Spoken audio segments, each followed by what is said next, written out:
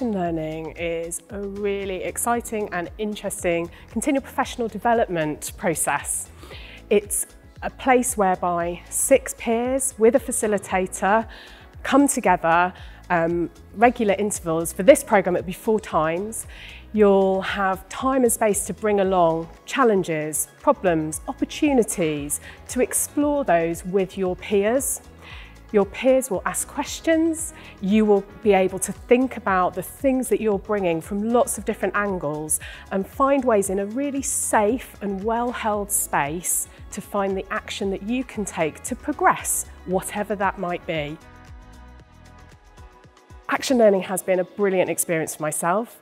I was fortunate early on in my career to find an action learning set and we undertook this process. It's helped me have a touch point, a reflection. It's helped me really understand myself in the creative sector. If you want to find out more, look at the details below and we look forward to seeing you on the programme.